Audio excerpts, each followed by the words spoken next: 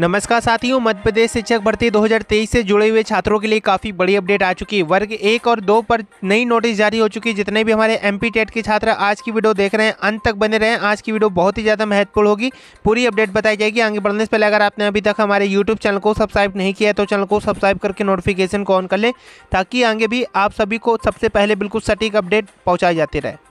मध्य प्रदेश शिक्षक भर्ती से संबंधित अपडेट पाने के लिए गूगल पर जाकर सर्च करें वर्ग एक हिंदी प्रो। हिंदी प्रो पर जितनी भी अपडेट बताई जाती है, वो सबसे पहले बिल्कुल सटीक बताई जाती है और आज की काफ़ी महत्वपूर्ण नोटिस अभी अभी जारी हो चुकी है। दोस्तों, मध्य प्रदेश शिक्षक भर्ती में लागू होगा नया फार्मूला चालीस परसेंट और पचास परसेंट नए फार्मूले को लेकर काफ़ी बड़ा नियम, अब तीन बड़े नियम अपनाए जाएँगे। आपको बता दें, मध्य प्रदेश के छात्र छात्राओं के लिए आज एक और बड़ी राहत की खबर सामने निकल कर आई है। यहाँ पे वर्ग एक की नई शिक्षक भर्तियों का विज्ञापन का इंतज़ार अब खत्म होने होने जा रहा है। आपको बता दें, वर्ग एक की बड़ी संख्या में नई शिक्षक भर्तियों का विज्ञापन अब जारी होने जा रहा है और नई शिक्षक भर्तियों में नए नियम को लागू करने को लेकर भी काफ़ी बड़ा अपडेट यहाँ पे सामने निकल के आ रहा है। आपको बता दें, वर्ग एक पर नई शिक्षक भर्तियों पर काफ़ी बड़ा अपडेट आ रहा है। आपको बता दें, बीते कुछ दिनों से लगातार हज़ारों की संख्या में छात्र धरना प्रदर्शन कर रहे हैं ताकि जल्द से जल्द सरकार नई शिक्षक भर्तियों का विज्ञापन जारी करे और नई शिक्षक भर्तियों पर चालीस और पचास का नया फॉर्मूला लागू किया जाए।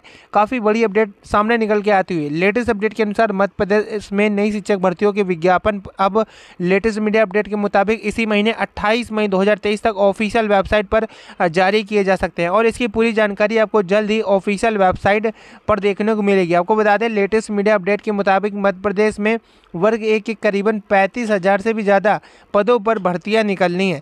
वर्ग एक और दो के तीन के छात्रों के लिए सबसे बड़ी अपडेट सामने निकल के आती हुई आपको बता दें मध्य प्रदेश में चल रहे धरना प्रदर्शन को लेकर अच्छी खबर सामने निकल कर आई है। अब जल्द ही धरना प्रदर्शन जो है ख़त्म कर दिया जाएगा, क्योंकि अब सभी की मांगों को एक एक करके पूरा किया जा सकता है। मध्य प्रदेश शिक्षक भर्ती से जुड़ी जितनी भी अपडेट होती है, यहाँ पर सबसे पहले बताई जाती हैं और काफ़ी बड़ी नोटिस जारी हो चुकी है, जो आप लोग यहाँ पर जाकर डाउनलोड कर सकते हैं। काफ़ी बड़ी अपडेट जितने भी